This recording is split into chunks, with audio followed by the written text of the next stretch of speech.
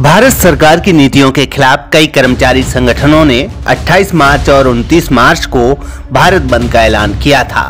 केंद्रीय ट्रेड यूनियनों के संयुक्त मंच और अलग अलग सेक्टर्स की यूनियनों द्वारा देश भर में दो दिवसीय हड़ताल का ऐलान किया था। पहले दिन परिवहन से लेकर बैंक तक सेवाएँ आंशिक रूप से प्रभावित थीं।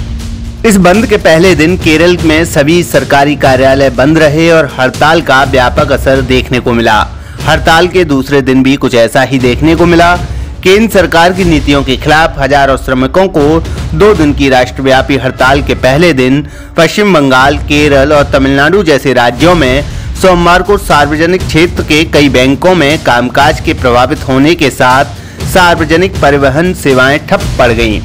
एक दर्जन ट्रेड यूनियनों द्वारा बुलाई गई हड़ताल से हालाँकि स्वास्थ्य सेवा, बिजली और ईंधन आपूर्ति जैसी आवश्यक सेवाओं पर असर नहीं पड़ा। सरकारी कार्यालयों समेत शिक्षण संस्थानों में इसका असर न के बराबर रहा। श्रमिकों ने कई जगहों पर विरोध प्रदर्शन भी किया और यूनियनों ने दावा किया कि झारखंड, छत्तीसगढ़ और मध्य प्रदेश जैसे कोयला खनन क्षेत्रों में आंदोलन का असर पड़ा है।